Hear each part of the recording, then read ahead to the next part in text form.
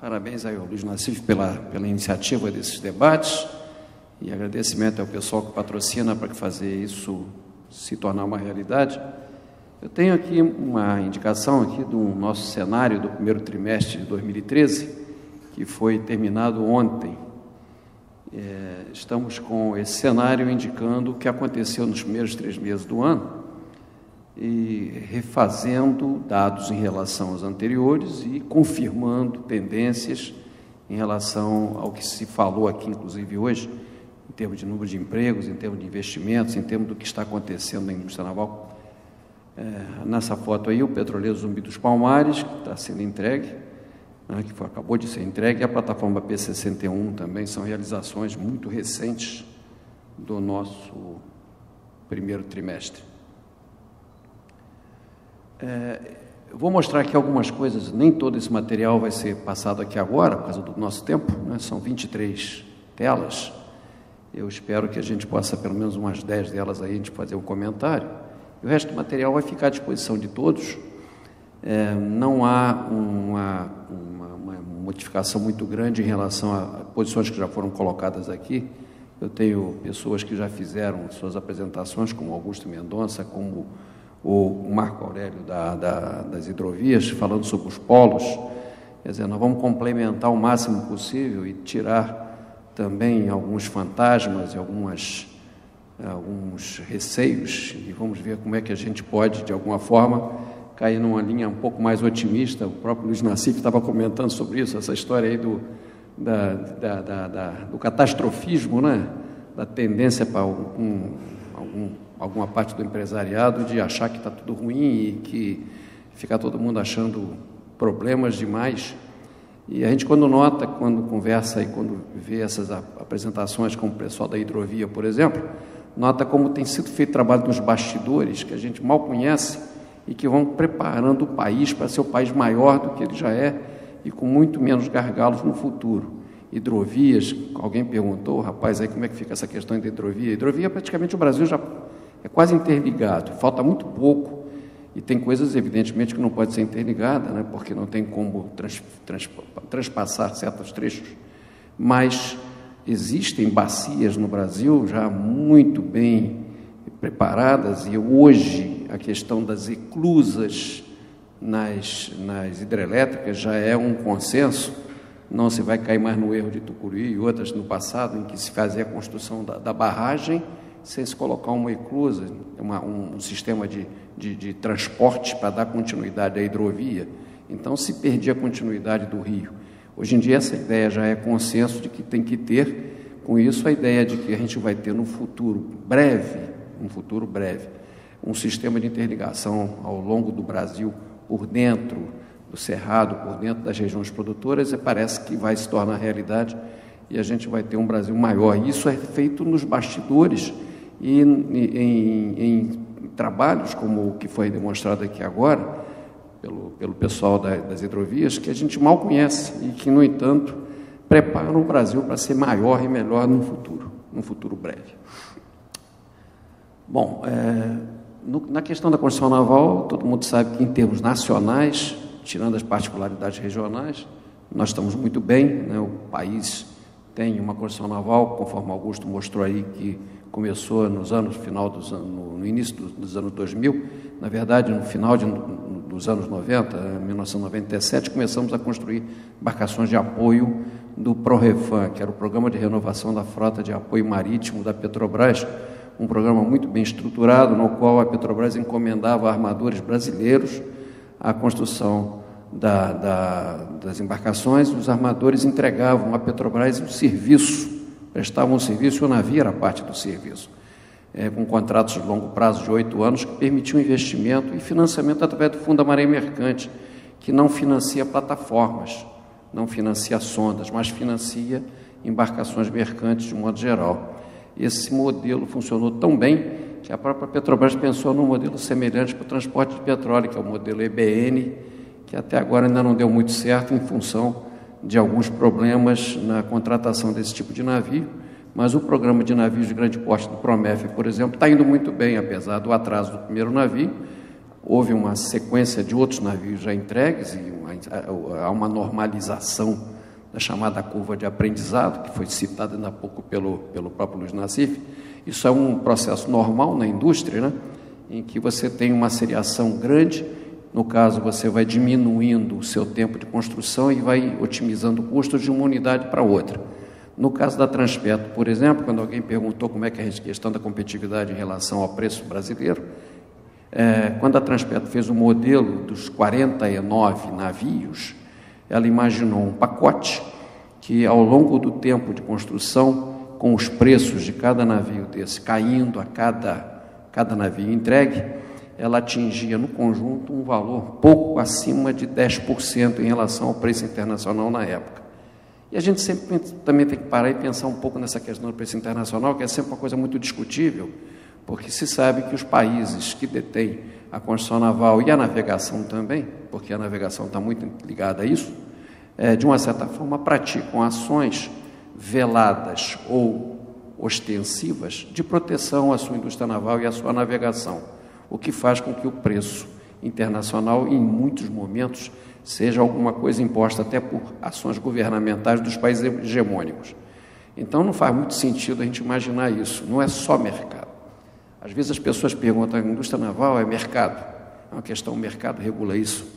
Nem sempre. Indústria naval e indústria marítima, que é a navegação, são mais problemas de país, são mais questões nacionais dos países do que de mercado. E os países investem fortemente para isso.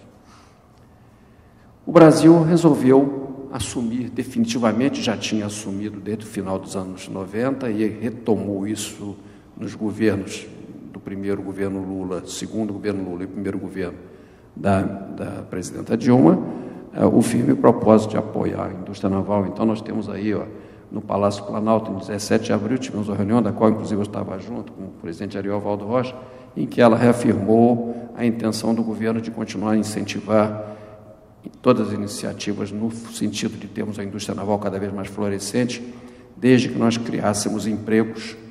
Quer dizer, não vai ter sentido nenhum construir um estaleiro todo automatizado ou robotizado e deixar a mão de obra de fora. Aí o Benito, lá do Rio Grande do Sul, ficaria numa situação terrível com seus colegas, porque ele tem aí uma expectativa de geração de emprego que não aconteceria. Isso não tem menor sentido. A construção naval veio para ter empregos e para multiplicar empregos também na indústria subsidiária. Está aí o César Prata, que vai falar sobre a, a, a questão da, da, do, dos materiais e equipamentos que são multiplicados pela construção naval. E cada um que a gente vai colocando num navio, prevê-se quatro, cinco empregos na indústria subsidiária, se tudo correr bem. Então, isso aí é uma estimativa do que, que vai acontecer. Acabou de ser colocado pela Petrobras a previsão da demanda até 2020. Né? Várias plataformas, muitas plataformas, muito navio de apoio, uma série de, de, de equipamentos caríssimos e de grande tecnologia em que o Brasil está se especializando. Vou passar muito rápido, algumas coisas eu vou passando depressa e outras vou deixando para vocês refletirem depois. Né? Isso aí são os empregos gerados, estamos em o Augusto tinha colocado aí nessa estimativa, que seria mais ou menos a estimativa que a gente estaria atingindo nessa época. Nós já estamos com 70 mil pessoas hoje, sem considerar o pessoal da náutica. Tiramos da estatística náutica, porque estava um pouco incerto, mas temos só da construção naval, o polo do Rio Grande do Sul está lá indicado, lá, o segundo polo, 31% da mão de obra brasileira colocada no polo do Rio Grande do Sul. Aí estão os empregos, né?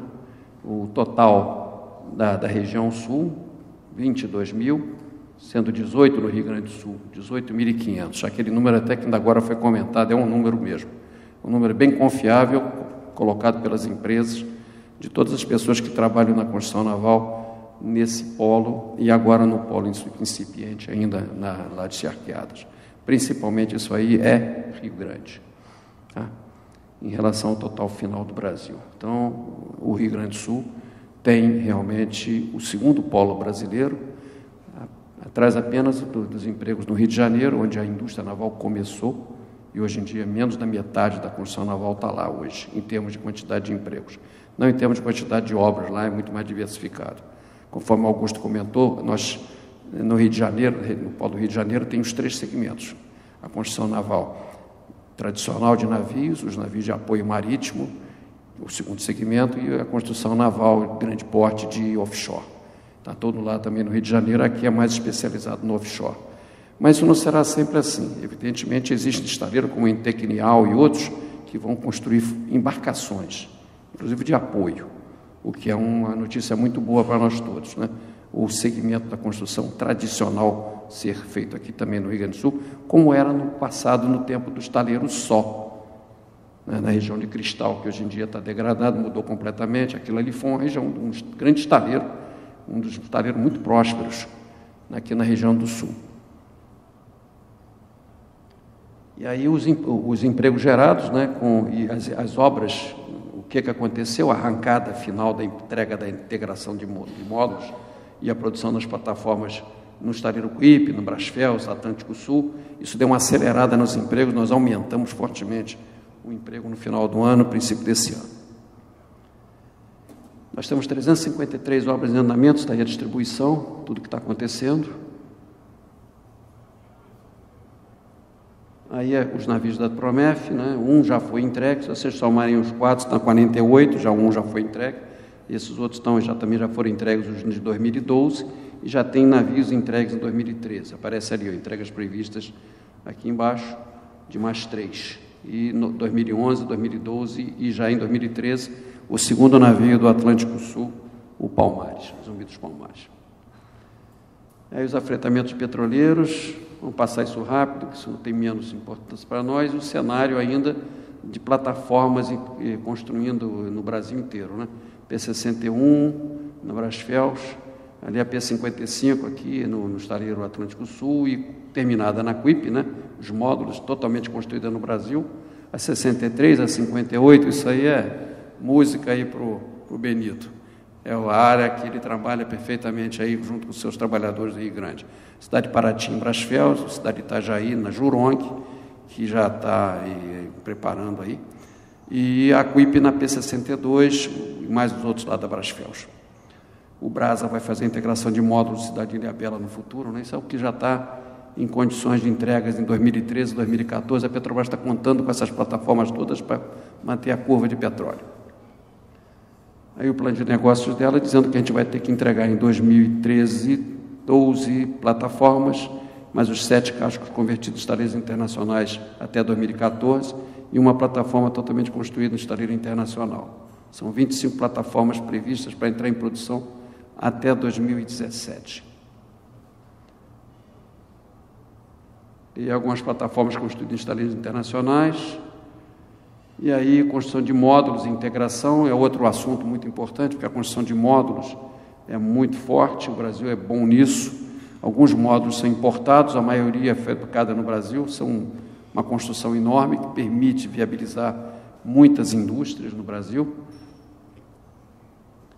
E aí, uma indicação de que há, existem várias áreas de negócios que foram proporcionadas por essa construção. Quando a gente pensa na multiplicação dos negócios, gente imagina que todas aqueles áreas como projetos, sistema de navegação, integração de módulos, motores, etc., são revitalizadas por esses empreendimentos, por esses EPCistas. Grandes corporações internacionais vieram, estão vindo, o Senaval é visitado por 15 a 20 delegações todos os anos, para a gente discutir com eles como trazer essas empresas atraídas para o Brasil.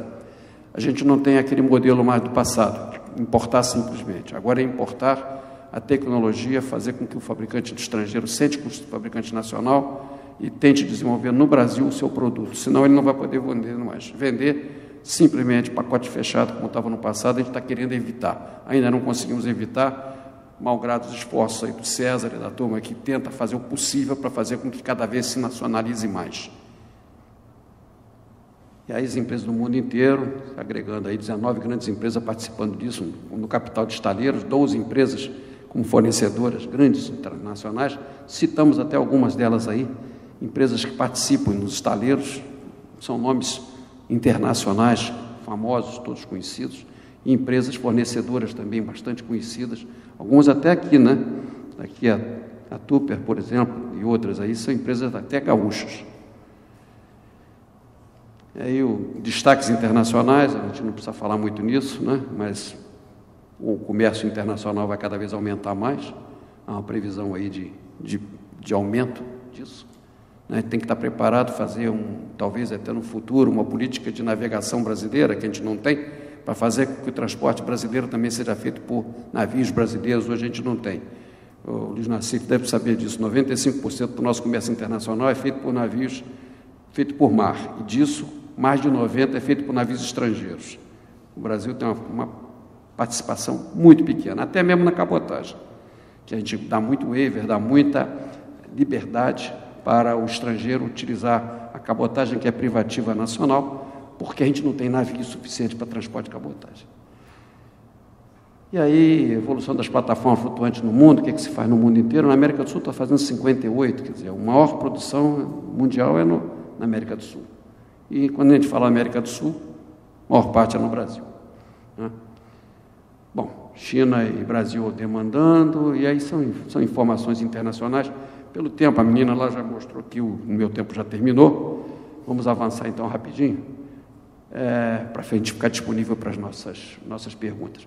Eu aconselho a todos que são interessados no assunto a visitarem o site do Sinaval diariamente. Nós temos um noticiário abundante sobre a construção naval, todas as palestras importantes, toda coisa que acontece no nosso mercado vai para o site. E a gente tem lá maiores informações e colocamos a equipe também do trabalho do Sinaval à disposição de todos que quiserem nos perguntar. Muito obrigado.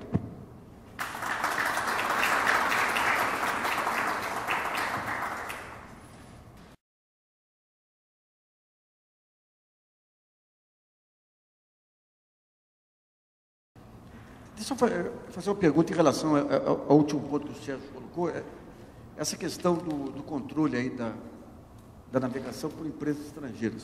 Até bom dizer que o grande salto da Inglaterra no século XVIII e XIX veio quando passou a ter o controle da sua própria, passou a dar a prerrogativa para os navios britânicos para o transporte aí de. É, de que maneira que se é, que, é, que, outros países que têm tradição naval aí definem a sua a sua digamos a reserva de mercado para as empresas nacionais? Especialmente, quando se fala em, em, crescimento aí do transporte marítimo, é, muito entra para transporte de commodities, que é a área que o Brasil tem mais é, competitividade por enquanto. Né? É, de que maneira que o governo, o Itamaraty, os ministérios têm se comportado? Qual o espaço que tem para negociação de reservas de mercado aí para, para os navios brasileiros? Essa é uma boa pergunta que e com toda sinceridade, eu, embora eu seja um apologista da gente ter isso no Brasil, a gente tem a navegação brasileira controlada por brasileiros, mas é, pelo fato de eu não militar no processo diretamente, mas eu te, te recomendaria o seguinte: nós temos no Brasil um sindicato, que é o Sindicato da Indústria, da, da Armação, Sindicato dos Armadores, Sindicato Nacional das Empresas de Navegação Marítima, que é o chamado Sindarma. Ele deve ser chamado, você devia provocá-los para que eles participassem do blog, participassem desses debates. É, o que acontece é que grandes, os grandes países que detêm o controle do tráfego internacional, eles incentivam as suas empresas a se tornarem grandes, a se crescerem, facilitam ao máximo isso, e essas empresas, naturalmente, com o crescimento, elas ganharam corpo e dominam o mercado e essa questão é uma questão interessante. Se vocês olharem o noticiário de ontem, por exemplo, é, em menos de 10 anos, parece que 8 anos, mais de quase 80% de acréscimo, de acréscimo nos fretes. É, nos últimos é, três ou quatro meses, aumentos aí na faixa de mais de 10%, por decisões é, de poucas empresas mundiais que detêm o processo, que tem aí 300 navios ou mais de grande porte que fazem o transporte mundial em todos os países, inclusive no Brasil, trazendo grandes navios até para o Brasil. Nada contra, essa é uma indústria privada, né? tudo bem. Mas o Brasil tinha que ter uma política para isso, como teve no passado. No passado havia um sistema, um mecanismo chamado é, de conferência de fretes. Depois apareceu, nessas conferências eram estabelecidos, por exemplo, 40, 40, 20. É, você tinha 40% do seu, do seu transporte, o seu parceiro comercial tinha os outros 40 e os 20 eram para os terceira bandeira. E isso hoje em dia acabou, não, não existe mais. Essa competição agora é livre, totalmente livre. Os países não podem mais regular isso. É, mas é o tipo da, da situação especializada, em termos de história disso e em termos de entraves que o Brasil tem para isso, que eu acho que, eu quando coloquei isso, eu estava na expectativa de que você falasse e que até provocasse esse assunto em termos de Brasil. Debate isso aí, porque vale a pena. O Brasil não tem é um navegação, tempo. isso é um negócio estranho. Se fizerem um boicote internacional ou houver uma conflagração, uma guerra, o Brasil fica isolado e ele não transporta seus, suas mercadorias. 95% do nosso comércio é pelo mar e a gente não domina o mar. Os países que são soberanos dominam o mar e o Brasil não. Agora, tem a Organização Mundial do Comércio, algum desses tratados que impede países de terem reserva de mercado para os seus navios? Não, não sei como funciona isso, não sei se é propriamente uma reserva de mercado. Eu acho que são, o mercado funciona com certas regras que são do próprio gigantismo de certas empresas, que são incentivadas por seus, seus países e que vão realmente crescendo e vão tomando esse mercado, enquanto os outros países ficam tímidos, aceitando somente uma situação como essa, que não é um negócio que vai ser decidido por pequenas empresas brasileiras de navegação. Isso teria que ser feito alguma maneira de incentivar que houvesse grandes empresas no Brasil. Para isso tem uma série de coisas que têm que ser resolvidas, quanto à questão de tripulação, a questão de, de tamanho do navio, a questão da, da, da uh, do combustível, do preço do combustível. Existem uh, coisas estranhas né, na, na, nossa navegação. O estrangeiro que se abastece no Brasil tem, tem o combustível com redução de impostos, o brasileiro não tem. Uh, existem coisas meio surrealistas no processo que eu acho que vale a pena botar a mão nesse vespeiro. É um vespeiro é um belo de um vespeiro para você provocar, mas eu acho que vale a pena. É, tem, tem Fugimos um pouco do nosso. É, não, essa, é, dentro do Jornal GG nós vamos pegar, a gente está pegando vale cada área aí um tema central. Eu acho que esse, esse é um dos temas centrais aí. Eu não consigo entender por que as companhias aéreas brasileiras não têm que comprar lote de aviões da, da Embraer. Tem companhias médias no mundo inteiro comprando aqui. Quando você pega, tem uma companhia. Outro dia viajei num, num avião da, da Embraer, um pouco menor que os demais aviões, com televisão, com, com espaço para perna, né, coisa que os outros não têm aí. Mas é impressionante essa falta de. O, o, o que é aquela visão de falta de política industrial, mesmo você tendo hoje uma posição firme aí, no sentido, no sentido de reconstruir as políticas industriais, como que pernas centrais ficam presas a paradigmas que já foram superados pela crise. Né? É, o interessante é que nessa nossa história, né, você, por exemplo, está debatendo bastante, porque a gente tem muitos debates sobre a construção naval, mas se debate menos a navegação. Não é meu papel, a gente não tem esse papel aqui, mas toda vez que a gente encontra um jornalista de ponta como você, que provoca esse tipo de assunto, a gente para e pensa, por que pessoas como você, se provocarem esse assunto, ele volta à baila e começa a ser movimentado e ser comentado e tentar achar soluções para ele. Porque nós estamos indo, a construção naval está crescendo, tá, é um processo vencedor, é, aqui inclusive no Rio Grande do Sul, e a gente vê que ele tem uma, uma, um futuro provocado por uma coisa que é fatal, né? a necessidade de tirar esse óleo. Como Augusto disse, esse óleo ficou aí e vai ficar. Se ninguém fizer nada, ele vai ficar aí milênios embaixo da, da, na, da camada de sal. E daí?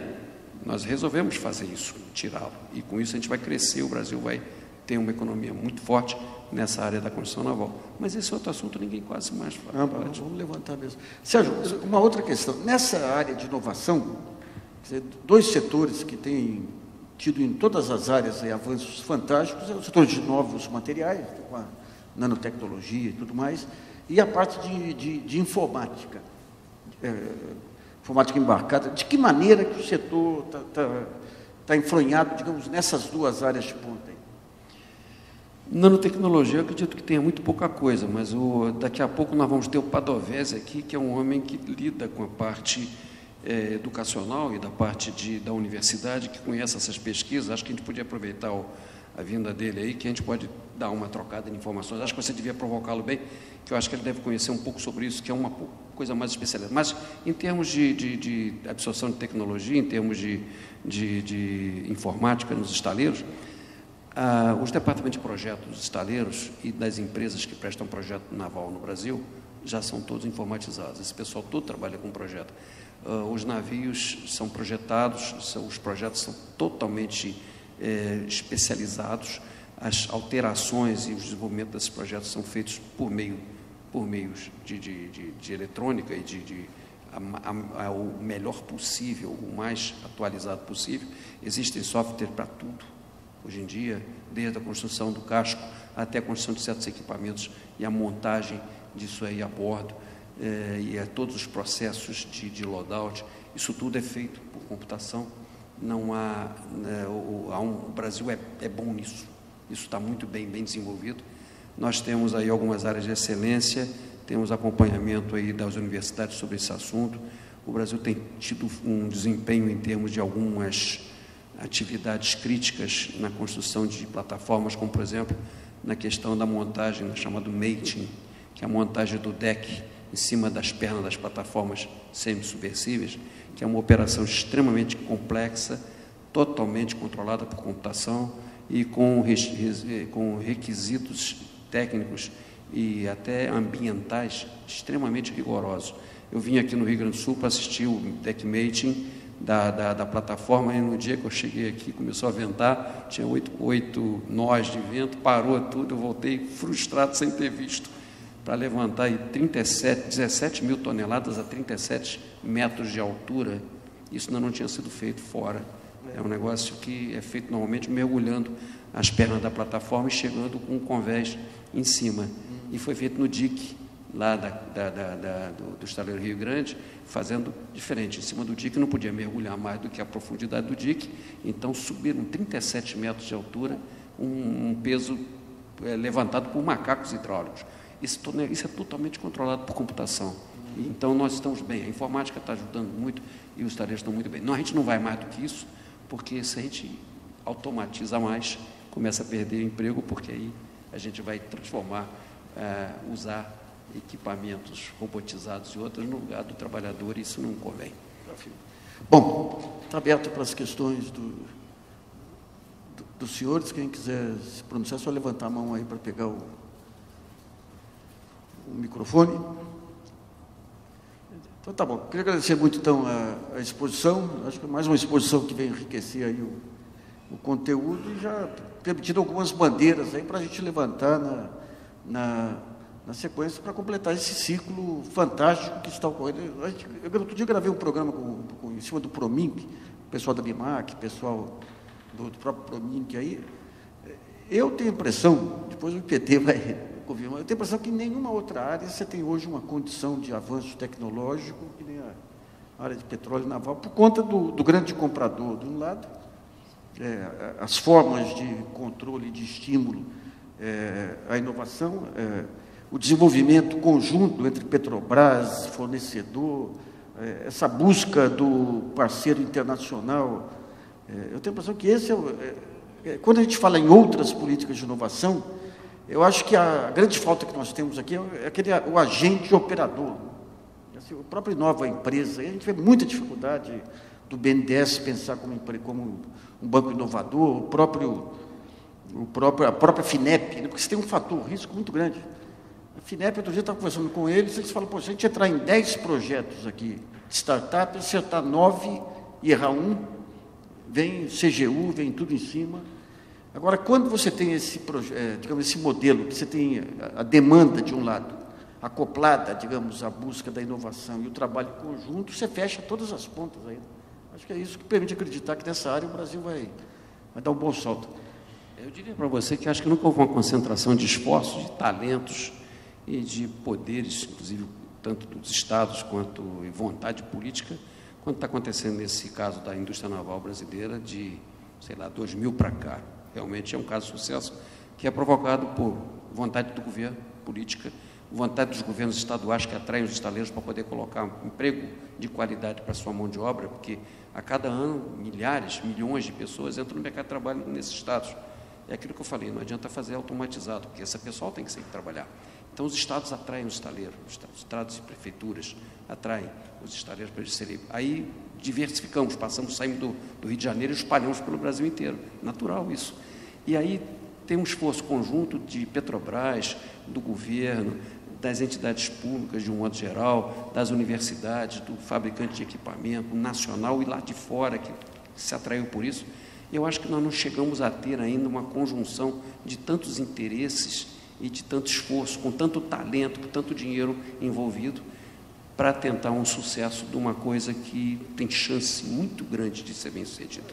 Tá bem? Muito bom.